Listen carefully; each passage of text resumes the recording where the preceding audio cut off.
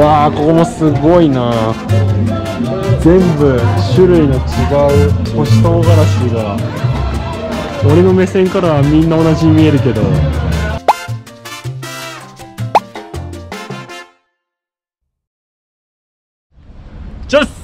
優勢です。今回はメキシコシティ中心部やってきました。メキシコシティはいろいろ特徴的な市場があるということでその市場を3つぐらい紹介していきたいと思います。実はもう1個目のところに来てて民芸品市場紹介していこうと思います。その次その次とどんどんグレードアップしていく予定なのでお楽しみに。それでは行ってみよう。早速入り口の中に入ってきたけどここはなんか塩田寺市場っていう名前でまあちょっとちょろちょろお店を覗いてみましょう。市場内部やってきましたよ。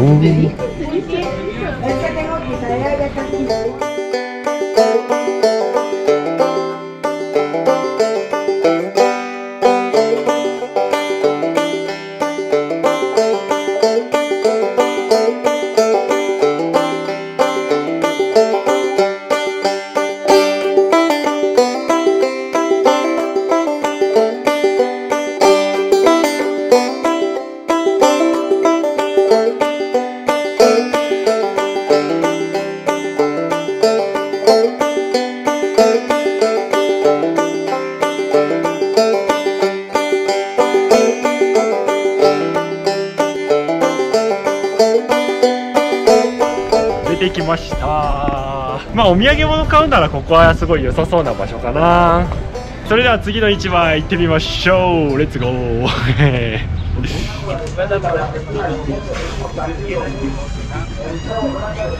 はい、ソドラ市場にやってきました。別名魔女市場とも呼ばれる市場で、何やら怪しげなものが売ってるらしいということで、早速中に入って見に行ってみましょう。行くぞこの市場は全部屋内みたいだね。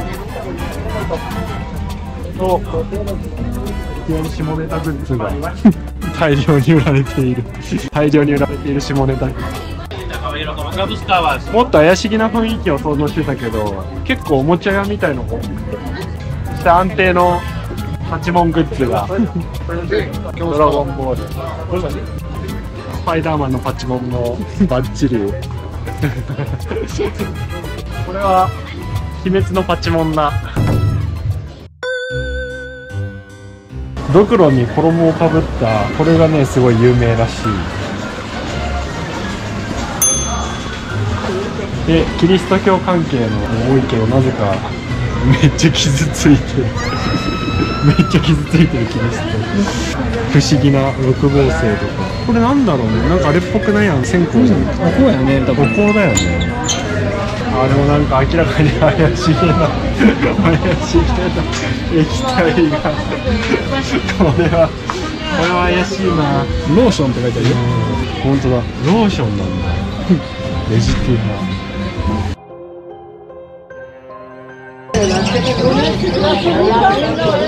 大量の動物がウサギ鶏普通の鳩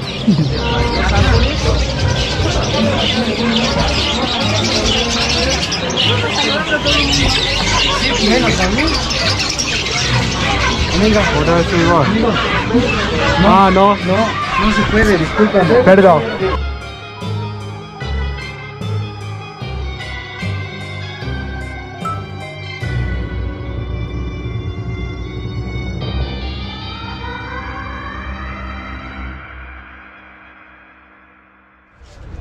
はい出てきました。さっきのあのお土産物市場よりはだいぶちょっと怪しげな感じだったけど次はいよいよメインの超巨大市場に行ってみたいと思います。じゃあ行きましょう。はいこっち側が市場なんだけど店が密集しすぎてて入り口がどこだかもよくわからないような状態です。最後の市場メイン市場のメルセ市場です。多分いくつかの市場がくっついて集合体みたいになってていろんな商品が取り扱われていると思うので見に行ってみましょう。この狭い入り口から。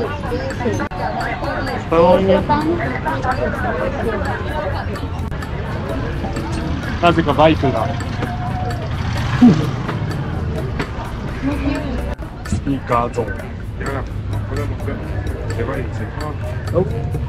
これもヒヒロアカで、ブリーチ。ブリーチ。で、あと、チェーンソーだね。お。これしかも日本の。あ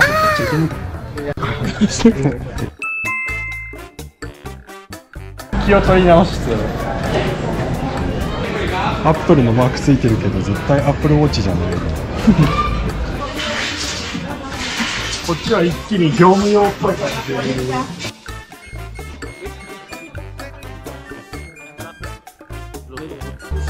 すごい。完全に業務用。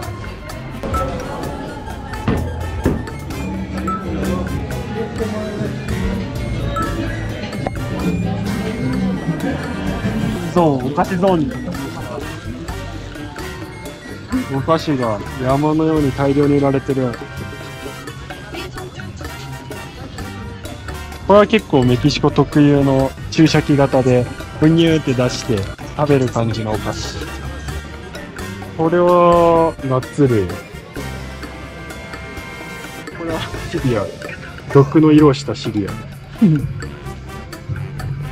ル。やばげな粉たち。あでもこれチョコラテって書いてある。チョコってことかな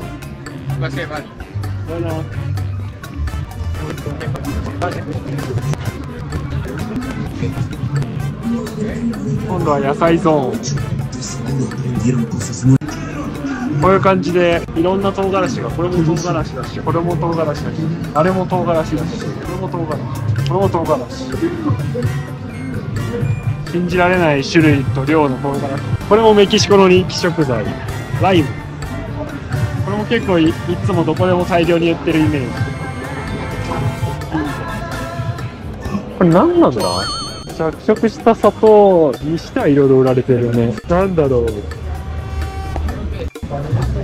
もう乾燥エビもよく売ってるな。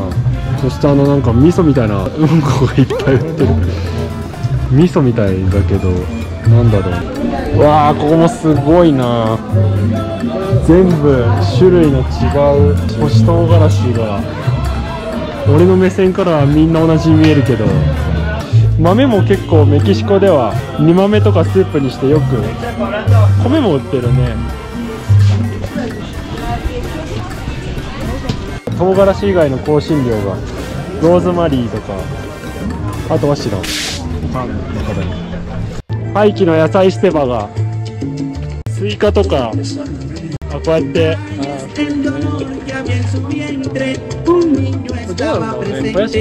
ね、ハエがすごい高くて肉が常温でゴリゴリ売られてるけど衛生的に大丈夫なんだろうか。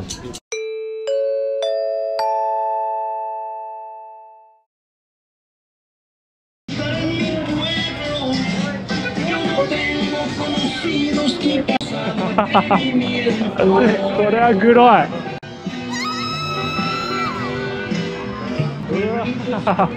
グロうわすごい。大変い匂いがする。肉ゾーンが終わったと思ったら今度は魚だ。今度は魚見たことない魚が。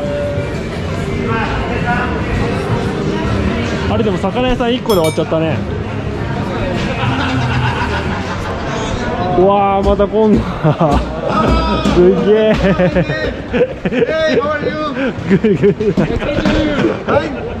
すげえ。大量のチーズ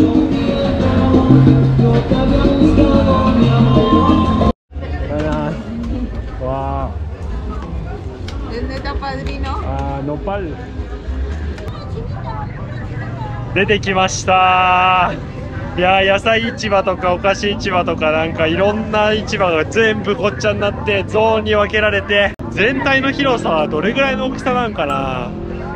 ちょっとよくわかんないぐらいでかかった。サッカーコート4面分ぐらいありそうな大きさでした。もう一個おまけの市場に行ければ行きたいと思っているんですがえそちらどうなるかちょっと行ってみてからのお楽しみということでこの後映像があるかどうかは微妙なところ。以上これにて市場紹介終了でございます。それではまた次回の動画でお会いしましょう。おいじゃねー。ゆうせいろチチャリンコ世界一周の旅まだまだ続いていきます。チャンネル登録と通知をオンにして一緒に旅行を楽しもう。